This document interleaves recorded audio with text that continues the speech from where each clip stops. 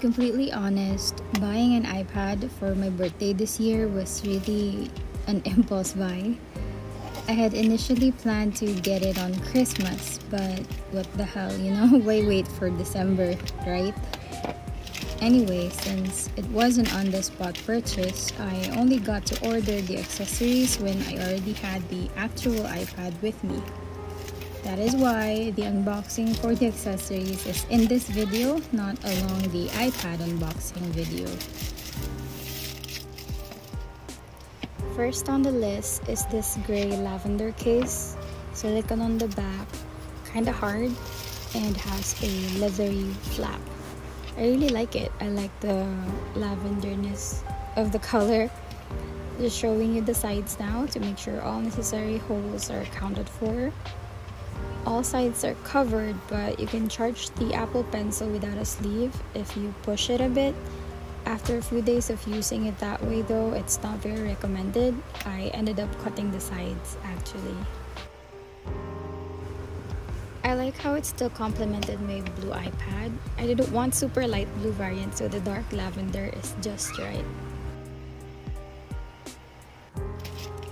Next up is the paper-like screen protector. I've seen reviews where they don't recommend this because of how it dims the overall resolution of the iPad, but I've always liked matte, so I'm fine with it I guess unboxing this scared me a bit because I've gotten used to tempered glass screen protectors that, you know, break. So when I saw that the parcel was bent, I got scared for a bit, only realizing that it's not glass after all, so I shouldn't be worried. That's me worrying about the bent packaging. By this time, I've been using the iPad for around 5 days already, so I was very excited to put the screen protector on because I hate leaving fingerprints all over the screen and using the Apple Pencil directly for fear of scratching it. I don't know, I'm just paranoid. The package came with a cleaning kit, thankfully, and I took my time to really clean and get all the dust out because I don't want to mess it up. Not overreacting, but I think this took me a solid five minutes or so, maybe longer. I just kept wiping and wiping and removing the dust because, again, I've been using it for a few days. I did not want to leave any prints on it that would cause for bubbles. So, yeah, it took some time. So, here I am.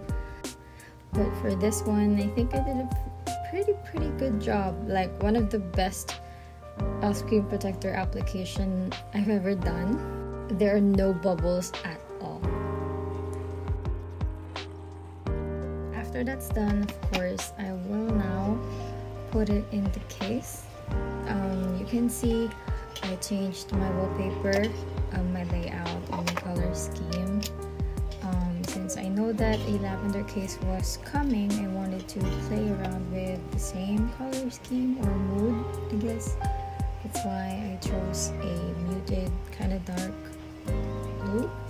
Not so baby blue and not navy blue, but in the middle. After a few days, the rest of the accessories arrived and I'm a different setting. I'm over at my mom's but they have the same table as I have at home so looks the same but not the same. So let's get into it. Um, three products three products three accessories came today. Let's get into them one by one. This one took a while because I don't know why but I ended up ordering overseas even though I know that there are local shops I guess I did not look because I was excited that that was my first day with the iPad, so I wanted to buy accessories. And I'm just okay, order, order, order. It's the Apple Pencil sleeve. I got it in green because I still wanted a green touch. The next item would probably be my favorite out of everything. Um, I found this after watching a lot of iPad unboxing videos here on YouTube, and I think I kind of fell in love at fell in love at first sight. Uh, I started researching about the brand. It's the GuliKit Elves controller and NS18. So you might see the pro version circulating a lot on YouTube, but there's a non-pro version which I searched online. Doesn't really have a lot of difference with the pro version, so I got the non-pro one and saved around 500 pesos. So that's actually what pushed me to end up buying this. I think the pro price is too expensive for a controller, but when um, I found the non-pro one, okay, this is a sign I really need to get this, and I did, and here it is. It's so pretty. The turquoise color is really just the mixture of my favorite colors, blue and green. It's just really right there in the middle. I love it. So unboxing the GuliKit Elves controller NS18 non-pro version. It still has the same things that the Pro package has like the USB-C cord, the instruction manual, and the controller still comes in the really nice ca hard case that protects it from being smudged if you ever smudge. Is that right? Squashed squished. I'm really lost right now um, from being damaged if there's a lot of things in your bag. Since I know that I was going to purchase the controller, which pairs well with the Nintendo Switch Lite in turquoise, I think that's its actual partner. That's why the brand created it. I'm not sure. But of course, I had to buy thumb grips for it. I've been really fascinated about um, fascinated with thumb grips. And I don't really have a reason to buy it because I don't have a Nintendo Switch.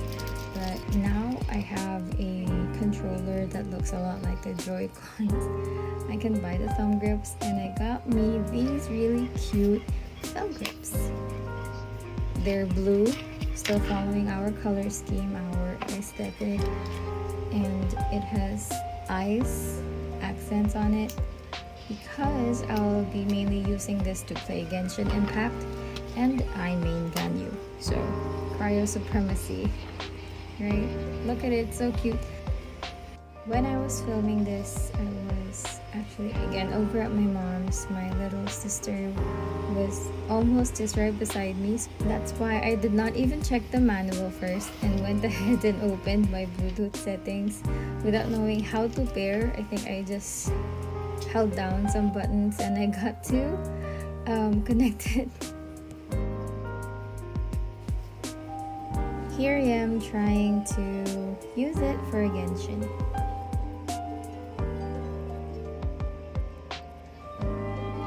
Is the first time I'm going to be using a controller for the Genshin controls. I've been playing on mobile ever since. I've been playing Genshin um, ever since the release, like a week after it was released. I downloaded it, so I got most of the characters. I'm not a whale, but I do um, BP and Welkin, so I have a lot of 5 stars. I'm not really used to the controls yet, but these days I've actually kind of lost touch with Genshin. I'm not too excited to play, and I think buying this controller and learning to or getting used to the controls on the actual controller will help me revive my love for it because of the whole experience. Thanks for watching this week's video. I will be linking the Shopee links, one Lazada link, the thumb grips because I'm really looking for a nice design if you guys want to purchase the accessories that I got for my iPad. Thanks again. See you guys next time.